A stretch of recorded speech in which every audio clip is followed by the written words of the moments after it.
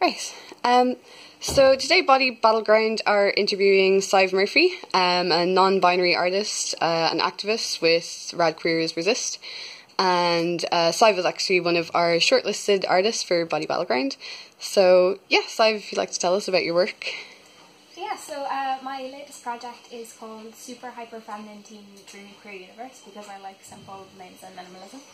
And it's all about um, queer femininity and exploring that and uh, kind of looking at how people express their queer femininity and um, what it means to them and the different ways it can come out. And then aside from that, also exploring kind of traditional aesthetics of femininity, so really pink, fluffy, sparkly things, and kind of contrasting that between sometimes the the mixed feelings that come with being a queer person and a feminine person. Uh huh.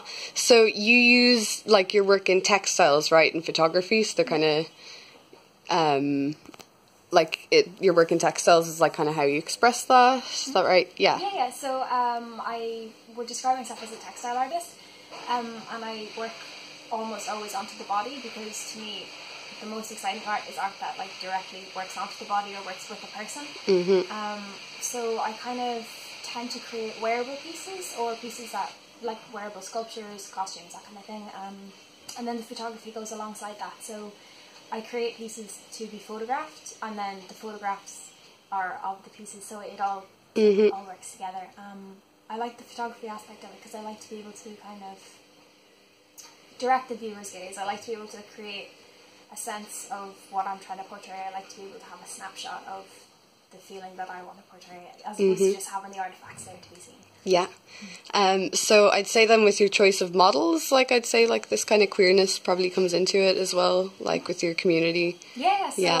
Um, all the models I use for this project are queer feminine people, Mm-hmm. um, and they happen to be people that were close to me just because it was easier. But um, through the project, I worked a lot with the community as a larger aspect. So I did a lot of a series of really simple portraits of queer feminine people, and I did a lot of interviews and stuff. Excuse me. And um, some of those were of my friends, but then some of them were just people that I didn't know. Like I had people coming up from Galway, from Cork, all over the place because they heard about the project and they wanted to get involved. So that was really nice. But, Wow. um, yeah, the models specifically for my final outcomes were um, they were kind of close to me, which I think is nice because I wanted to create a sense of the community that is built between queer feminine people. Yeah, I absolutely got that from your photographs. Yeah, it was a very like warm, connected kind of feeling. It was really empowering. Yeah, yeah, Yeah. that's what I wanted to portray. So. Great, yeah. Well, well done. Um, yeah. Okay, thanks, Ive. Thank you.